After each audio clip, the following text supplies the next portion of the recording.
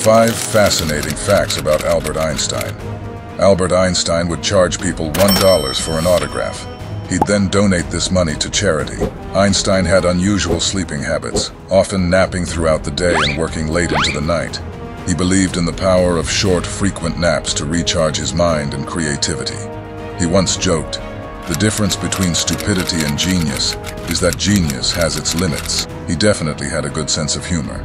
Einstein wasn't just a serious scientist, he also had a playful side. He was known for pulling pranks on friends and colleagues, like hiding fake insects in their offices. Einstein was fluent in multiple languages, including German, English, French, and Italian. Einstein was a master of thought experiments. His famous what-if scenarios helped him develop his groundbreaking theories of relativity.